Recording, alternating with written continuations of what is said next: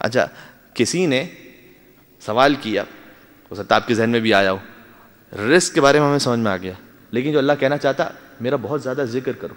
अल्लाह का बहुत ज़्यादा ज़िक्र ये कैसे होगा?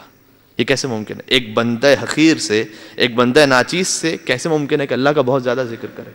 तो ये सवाल किया था किसी ने, हमारे ग्यारहवें इमाम मौला इमाम हसन अस्करी सलाम के बार का है अकदस में।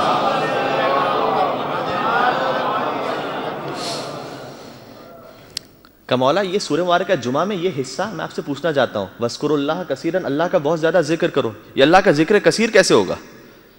देखें, हम इतने नाचीज़ और हकीर हैं कि अगर परवदिगार आलम, मसलन हज़रत मूसा से अल्लाह ने कहा, क्या मूसा, मेरा वैसा शुक्र अदा करो जैसा शुक्र अदा करने का हक़ है। मेरा बहुत ज़्यादा शुक्र अदा करो। हज़रत मूसा ने उस वक्त भी ये कहा था कि, परवरदिगार, मैं कितना ही शुक्र अदा कर लूँ, लेकिन वो बहुत ज़्यादा तो नहीं हो सकता। इसलिए कि इन तउद्दु नमत ला तो हुआ अगर मैं नेमतों को शुमार करना चाहूँ तो शुमार कर ही नहीं सकता मालिक।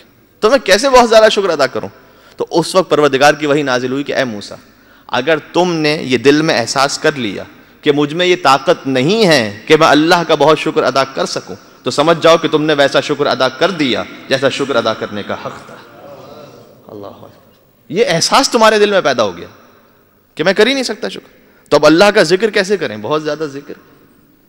हज़ार मरतबा सुबह अल्लाह कहें, दस हज़ार मरतबा अब मैं युजीब पढ़ें। कैसे अल्लाह का ज़िक्र होगा? तो उसने इमाम सवाल किया कि मौला, इस आयत पर कैसे अमल होगा? तो इमाम ने जवाब दिया कि तुमने क्या समझा? कि क्या अल्लाह ये चाहता है कि तुम्हारे अदद को खाली बढ़ाए? यानी इमाम वही कहना चाहते थे कि तुम दस हज़ार मरतबा कहो कुछ, एक लाख मरतबा अलहमदिल्ला कहो। तो क्या तुम ये समझते हो, अल्लाह ये चाहता है? क्या नहीं। मौला मैं आपसे पूछना चाहता हूँ इमाम ने कहा कि नहीं इसमें अल्लाह ये नहीं चाहता है तुम अपने अदद को बढ़ाते रहो ये जो कुरान करीम में ग्यारहवें इमाम की हदीस कुरान करीम में जो अल्लाह कह रहा है कि मेरा बहुत ज़्यादा ज़िक्र करो ये दर हकीकत मेरी दादी फातिमा जहरा सलाम की तस्वीर के बारे में बयान किया जा रहा है आवाज़ बुलंद रुबे मोहम्मद मोहम्मद पर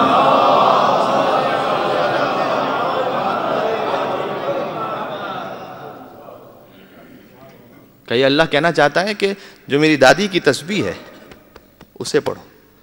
यानी वही चौंतीस मरतबा, अल्लाह अकबर तैंतीस मरतबा अलहमदिल्ला तैंतीस मरतबा सुबह अल्लाह यानी इमाम ने फरमाया कि इसका हुक्म अल्लाह ने कुरान में दिया देखिए, है अल्लाह की इबादत, लेकिन मनसूब है नाम फ़ातिमा जहरा सलाम से। बीवी के नाम से मनसूब है। और इस, क्योंकि हमने वादा किया था कि अगर हो सका तो मैं इस तस्वीर के बारे में कुछ बयान करूँगा। जो पहली या दूसरी मजलिस इसमें वादा किया था। तो इस वक्त ये गुंजाइश नहीं कि मैं बहुत डिटेल में जाऊँ, लेकिन इतना बयान कर दूँ कि वसाइल शिया में शेख हुर्र आमली ने इस पर पूरा चैप्टर लिखा है, बीवी की तस्वीर पर। और इतनी ताकीद, शायद किसी मुस्ताहब अमल की इस शिद्दत के साथ ताकीद ना देखी, क्योंकि हमने खाली रस्म बना दिया है। रस्म के तौर पर पढ़ते हैं। देखिए तस्बी पढ़ने का एक मतलब यह है कि मैं, जैसी नमाज़ मेरी ख़त्म हुई, आदत के मुताबिक मैंने तस्बी उठाई अपने उंगलियों पर अल्लाह अल्लाह इधर उधर देख भी रहा हूँ, बात भी कर रहा हूँ। या मिसाल के तौर पर यह कि और होश नहीं है मुझे कि मैं क्या पढ़ रहा हूँ। जो आमतौर पर हम वैसे ही तस्वीर पढ़ रहे होते हैं, कि हमारा होश भी नहीं होता, हमारा जहन भी नहीं होता। तो मौला के सामने जब नमाज़ एक शख्स था, नमाज़ पढ़ रहा था, ये मैंने किस बात पे पेश की बात? कि हम तस्वीर पढ़ते हैं, लेकिन कैसे पढ़ते हैं तस्वीर? इमाम मस्जिद में तशरीफ़ फरमाते खुद मौला जैन आबिदीन है, मौला सैर साजिदीन है। ये लकब मामूली नहीं है। लेकिन कुरान करीम में अल्लाह ने एक के बाद एक अम्बिया का ज़िक्र किया और कहा कि वकुल्लुम मिनल आबिदीन सब के सब आबिदीन में से थे। अम्बिया को कुरान में क्या कहा अल्लाह ने? आबिदीन। और मलाइका को क्या कहा है? फसजदु इल्ला इबलीस। सब के सब सजदा करने वाले थे सिवाय इबलीस के। तो मलाइका को साजिदीन कहा है, अंबिया को आबिदीन कहा है। उस हस्ती का मकाम क्या होगा? जब अंबिया की सफ़ में जाए तो जैन आबिदीन हो जाए। मलाइका की महफिल में पहुँचे तो सैयद साजिदीन हो जाए। अल्लाह अकबर। अल्लाह अकबर। वो हस्ती वो तशीफ फरमाए।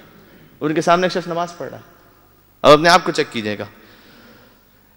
नमाज़ पढ़ रहा था वैसे, जैसे रिवायत में आया है कि बाज़ लोग, इमाम ने फरमाया, वैसे नमाज़ पढ़ते हैं, जैसे परिंदा जो है चोंच मारा करता है, ज़मीन में। इस तरह। तो वैसे नमाज़ पढ़ा था, अल्लाह बिस्मिल्लाह ना रुकू का पता, ना सजदे का पता, ना। और नमाज़ में पता नहीं कौन, एक साहबी का जुमला है कि नमाज़ पढ़ने में मुझे इसलिए लुत्फ आता है कि मैं पूरा दो रकत नमाज़ में पूरा काफिले तिजारत शाम भेज देता हूँ और प्रॉफिट समेत वो दूसरी रकत में वापस भी आ जाता है। उन्होंने कहा कि अच्छा लगता है मुझे, इसलिए लुत्फ आता है कि अल्लाह अकबर रहीम इतने ऊँट तैयार हो गए जनाब शाम भेजने के लिए। अल्हम्दुलिल्लाह रब्बिल आलमीन, माल सवार हो गया होगा। अल्हम्दुलिल्लाह रहीम मालिक यौमिद्दीन, अभी चल रहा होगा। और जनाब अली दूसरी रकत में बहुत अशहद अल्लाह इतना प्रॉफिट हो गया और अशहद अन्ना मोहम्मद अब्दू रसूल अस्सलाम वालेकुम वबरकातुहू पूरा काफिल तजारत जो शाम भेजा था प्रॉफिट समेत वापस आ गया। कहते हैं, मैं पूरा ये बिज़नेस कर लेता हूँ। नमाज़ में बिज़नेस कर लेता हूँ। तो उन लोगों का होता है सिलसिला ऐसा। तो इमाम के सामने ऐसे नमाज़ पढ़ रहा था। नमाज़ जब ख़त्म की उसने तो उसने कहा कि, परवरदिगार, मैंने तेरे लिए नमाज़ पढ़ी है। तो मुझे जन्नत में एक महल अता कर। उसमें चार हूरें अता कर मुझे। ये है, तारीख में लिखा हुआ है। इमाम सलाम देख रहे थे। जब उसने कहा तो इमाम सलाम के करीब आते हैं, एक ज़रीफ़ाना जुमला का इमाम ने। इमाम का जुमला ना होता तो ना पढ़ता। इमाम ने कहा तो अपनी दुआ दोहरा उसने कहा, मैंने अल्लाह के लिए नमाज़ पढ़ी है तो मैं अल्लाह से कह रहा हूँ कि मुझे जन्नत अता कर, उसमें महल अता कर, उसमें चार हूरें अता कर। तो इमाम ने उसे देखा और कहा कि शख्स, हक के महर तो इतना कम भेज रहा है और चला है चार चार हूरों से शादियाँ करने के लिए। हक के महर तो तूने भेजा ही नहीं है तो तो नमाज़ पढ़ लेना तस्वीर पढ़ लेना।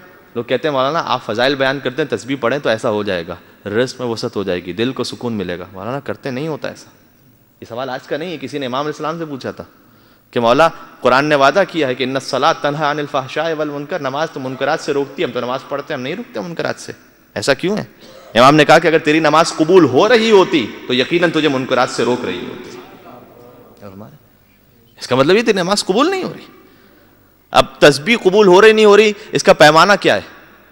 मुझे पता चले कि जो मैं बीबी की तस्बी पढ़ता हूँ नमाज़ के बाद, ये कबूल होती है नहीं होती?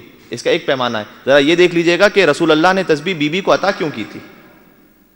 वो जो अता की थी, वो चीज़ मुझमें पूरी हो रही, नहीं हो रही? कब अता की थी ये तस्बी उस वक्त अता की थी कि जब बीबी घर का काम किया करती थी खुद। और एक मरतबा जब रसूल्ला पहुँचे हैं तो देखा कि शहजादी कौन के दस्त मुबारक पर? जो चक्की चला रही है तो खून के निशानात मौजूद हैं। ये रिवायत में। यानी कायनात के किस बाप को अपनी बेटी से वैसी मोहब्बत होगी जो सरवर कायनात को अपनी बेटी फातिमा जहरा से थी?